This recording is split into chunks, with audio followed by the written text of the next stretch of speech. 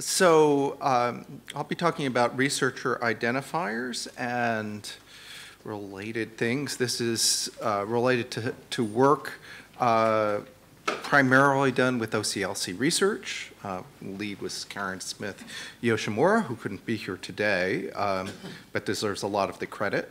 Uh, and there are also some other projects I'll, I'll talk about. And uh, anything that is in the report um, is, um, of course, uh, credited to everyone. Anything that I say is, uh, if, if uh, you like it, then credit is due to all of these people, and if you don't like it, it's my own fault and nobody else's, and including none of the institutions or funders. So again, this, a lot of this comes out of the registering researchers in authority files background work uh, project, which has gone for over a year now. Um, and we'll talk about sort of what the motivations are, the state of the practice, and some in researcher identifications and um, observations and recommendations. So what's the problem? Well, I, I think as, as, part of the problem that you, you've uh, seen through many of these talks is more, and uh, there's more stuff.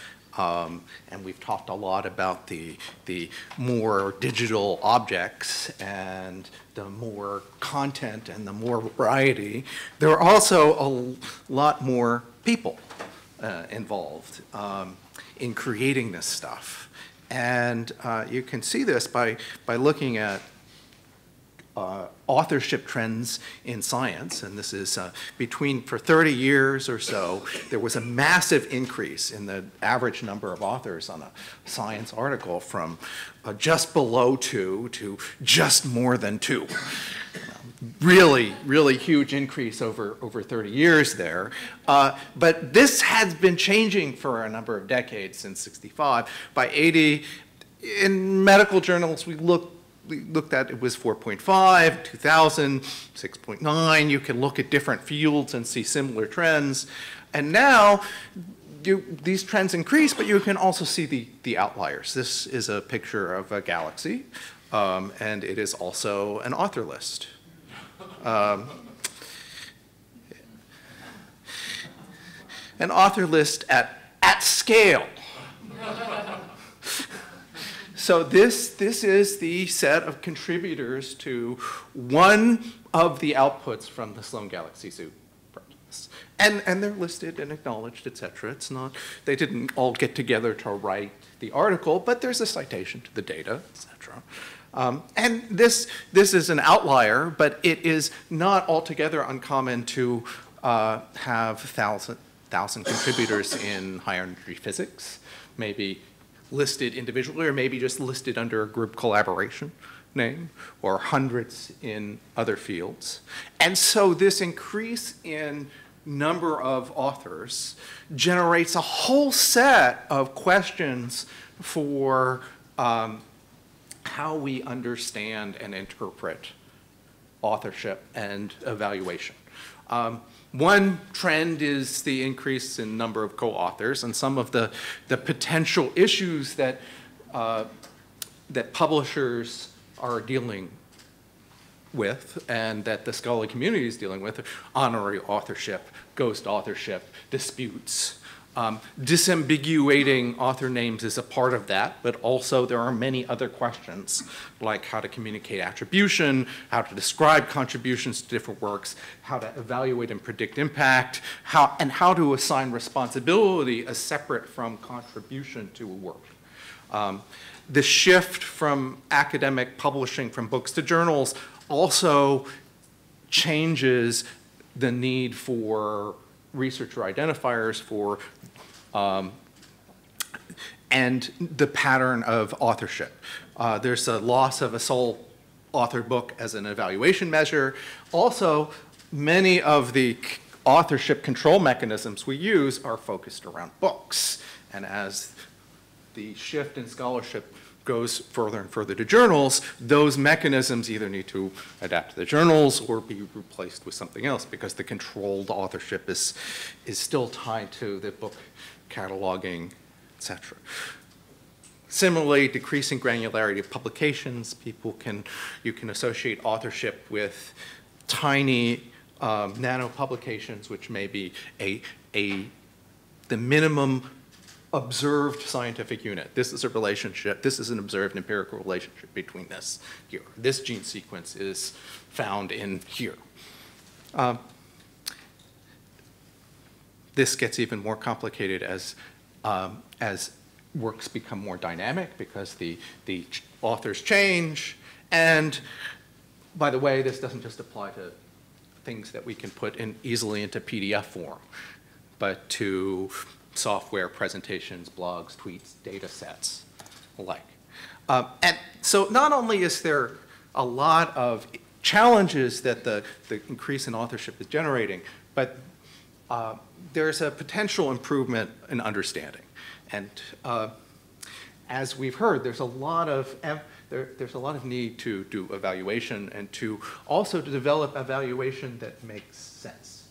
Um, and um, the predictive validity of many of these uh, metrics we have is mixed. It they tend to predict themselves, but not necessarily other things that we're interested in. Um, so with better assignment of, better understanding of who's contributed to particular works and to what portions of them, and more complete, you could re perhaps reduce error in these analytics, have other sorts of analytics become feasible. It's hard to do uh, collaboration analysis if there's lots and lots of ambiguity about who, what author names correspond to which people right? Even if you find your author in your institution, finding all the rest and understanding the patterns of collaboration is, is not really, is less feasible as the data becomes dirtier. Uh, you might measure new research objects, uh, be able to detect new populations, what's the trajectory of a graduate student, for example, who's not necessarily linked to a particular institution or goes through multiple institutions. If you, they have a identifier, it's easier to track them than by name. Whereas, you know, with a particular faculty member in an institution that's permanent, maybe that combination of information uh, makes them easier to find. And new sorts of connections. So what's the state of the practice? Well, as we know, lots of uh, lots of things depend on rankings, and there are lots of different rankings. Um, and a scholar may be published under many different forms of name. This is a 50 translation of, of Noam Chomsky, who's a, a, an art institution. Um, and all of these text strings refer to the same person. Um, and also Avram um, and how do we know, how do we connect of all of these people? Well, for, uh, for Noam, um, you probably, it probably doesn't matter. Right? However you slice up the impact metric, well, well, we'll, we'll, he'll come out um, in the top tier. But uh, for someone like my colleague, Michael Conlon, um, uh, esteemed though he is, there are different people, and it's much harder to distinguish between these two. And, uh, and in European uh, cultures, this happens quite frequently. In Asian, um, in Asian cultures, and, and, for example in China, the, a very large percentage of people in China share a very small number of surnames. So the collisions are getting larger more frequent as research becomes more and more international. And certainly other countries are, are, are interested in this. Um, furthermore, an, a researcher may have many different identifiers. Uh, and in this project, we, we used a uh, broad definition of identifier, which is a persistent public string that can be resolved to information about a person. So in that, in that sense, um, Mendeley is an identifier, ORCID is, is an identifier, but so is the URI for your Google profile, because that's persistent, links to you, uh, it's public. So in this project, we were looking at what are the challenges to integrate author identification? What are the approaches to reconcile data from, from different sources? And how to model these workflows, and especially how to take these new forms of identifiers and figure out what their role is in traditional cataloging systems, what the gaps are. Um, one part of the project was to identify different sorts of stakeholder needs, um, use cases, and to review different functional requirements, and we'll don't have time to go through all of those in detail, against a sample of 20 different systems drawn from different categories. Uh, we looked at identifier hubs like ORCID and ISNI. We looked at uh, research information systems like Symplectic. We also uh, at national research portals and also at scientific profile sites like Researcher ID um, and uh, more general sites that had researcher information uh, like LinkedIn. Uh, and so if you, you, you take a look um, about where people are, um, well, we're in, we're in the Netherlands, so DAI is a, is a system that is used here for researcher identifiers. Um, it's a nationally mandated system. It has something like 66,000 people. Um, ISNIs, uh, which uh, stand for International Standardized uh, Name identifier uh, has 7 million or so, as of the time that we created this slice, um, but of those 720,000 maybe are researchers. There are many, ISNIs are populated via name disambiguation from uh, authority files, and many come from book authors and from other and from other sources other than people who are now publishing as researchers in journals. Uh, ORCID, well, at this point, was uh, I guess these slides are fairly old. It's it's up to 800,000 or so with ORCIDs, but it's still um, not uh, same order of magnitude. VIAF 26 million. And these identifier systems are interconnected. Um, the ISNI system uh, was fed by the uh, VIAF system. Um, some authority records are now being put into Wikipedia and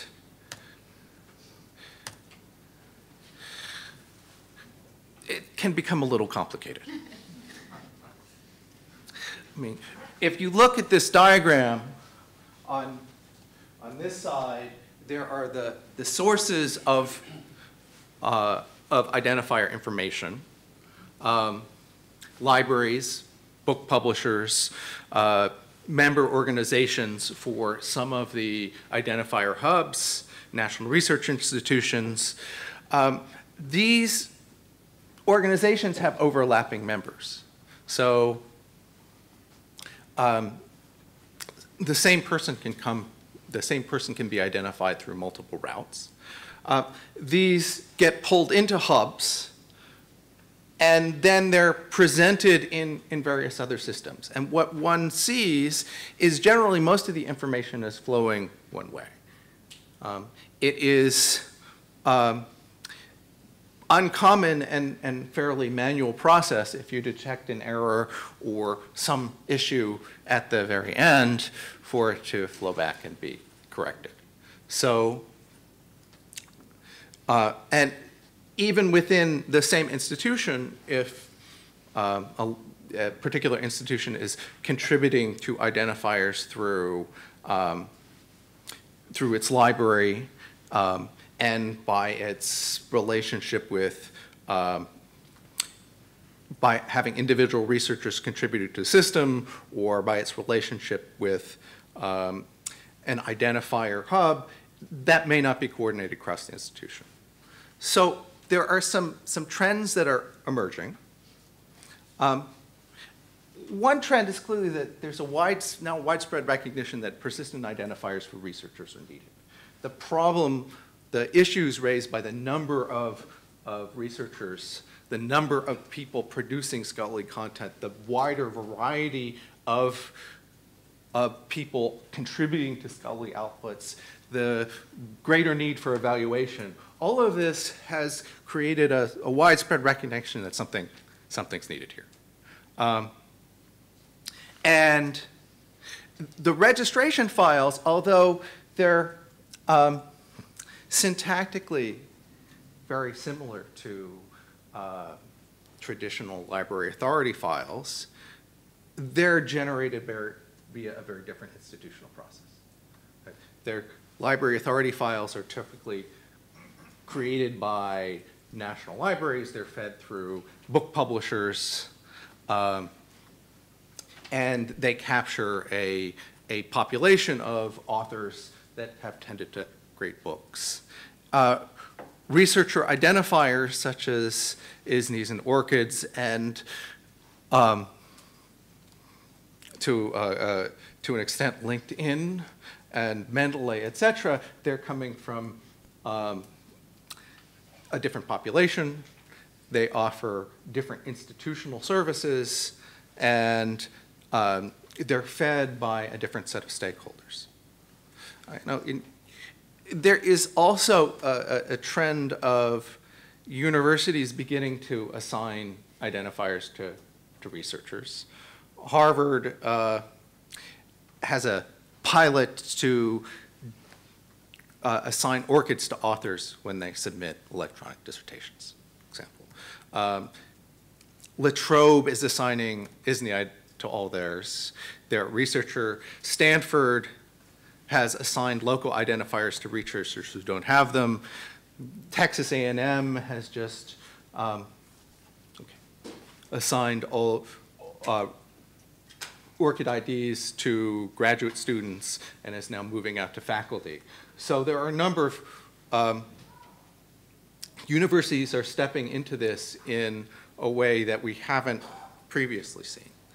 Um, there are also a number of, of uh, consequences of this and things that can be built on better identifiers.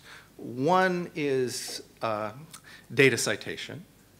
And we've been talking a lot about research data management. And one of the um, one of the emerging consensus around research data management is the need for, for citation to data sets. Um, and for the citation to data to be able to allocate or at least trace contributions to that data set to individuals. And so we're seeing uh, this set of principles this was released by Force 11, um, but has been sort of widely endorsed. What we're seeing a number of services to uh, now generate catalogs of data citations and experiments and pilots to start to move researcher identifiers into these, uh, into these records. Uh, there are also similar projects, another one I'm involved with, to expand out the information about authorship roles, about contributor roles. As we have more people, 1,000 people contributing to a particular publication, assuming that the, the first author did most of the work, um, is not as scalable. And so for the same sort of reasons, for, we, uh, for better evaluation, responsibility, et cetera, there's a desire to understand how different authors, contributors have, have contributed to works. And current authorship practices are mostly reactive. Um, so we've engaged uh, Liz Allen at the Wellcome Trust, Amy Brand at Digital Science, um, and I uh, are, are engaged in developing a taxonomy of contributor roles. This we we published a, uh, a description of the prototype in Nature, and here it is. And it is uh, moving ahead as a CASRAI NISO recommendation effort. But this, this is a synergistic activity. If you know who somebody is and what they did, then you can generate analytics. You can understand things much better than if you have either of those information. So some general recommendations. First of all, prepare to engage. So the adoption of researcher identifiers has been really rapid in the publication community. Most uh, of the, the large scholarly publishers have now uh, begun accepting researcher identifiers, asking for them in their manuscript submissions. Those, it's not necessarily required, but they're nudging authors to provide them or to register if they don't have them. Those are following the submission all the way through publication and being inserted in bibliographic information in Crossref. Um, so that we are now starting to see hundreds of thousands of records in Crossref that have individual identifiers. Um, funders are really uh, intrigued by this because they want to be able to understand how their uh, their funding and fundees um, contribute to the scholarship. And it's clearly time for universities to consider transition from waiting to engagement. Um, and this means developing outreach and educational materials, future-proofing systems. Authors are not a string anymore. They're multi-valued. They can have different roles. They can be associated with things other than PDFs. And from a library perspective, you should consider demanding more from your publishers. Publishers may be giving us PDFs, but they're starting to collect multi-valued author lists. They're collecting identifiers. They're collecting statements, in some cases, about what each contributor did. That may not be published, but that's part of the submission metadata. So there's a lot of metadata and usage data that is going into these electronic publications uh, that we're not getting back until we go to Elsevier and buy their analytics package. Even when, but if we subscribe to the, the electronic publications, maybe we should get the metadata that's been collected along with them, about, especially about our researchers who have produced them. Uh, to choose identifiers, there are uh, two broad systems, ORCID and ISNI, for, um, for individual researchers.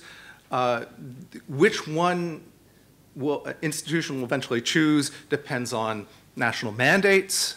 Different countries have mandated different ones. Um, there will be still traditional identifiers like VIAF and NACO, and, and these ORCID and ISNIs will feed into that. Um, they're not a replacement, they're a complement. Uh, and community identifiers by such as arXiv will also, also be around, but you should be aware of them, attach them to, to a particular record, to a particular individual, but um, they're not going to cross disciplines, works, etc. The environment is evolving. Um, the funder mandates and policies are incomplete. There's no dominant business model as yet. Uh, there's, and there's no comprehensive data source. Uh, there's also incomplete integration between this classic form of name authority and researcher identifiers. Uh, but one of the, the uh, clear lessons is that researchers alone are not going to drive this change. Um, they're sensitive to, to who controls their profile, but they're, and some of them have gone, hundreds of thousands have gone and registered for identifiers, but for the most part, um, this mechanism is not being driven by researcher demands for, for identifiers, but for, by publishers, funders, et cetera. So incentive mechanisms, well-timed nudges, setting up norms with junior scholars, for example, when they submit their dissertations or when they submit their first pub, are, um, are very useful for setting up feedback loops.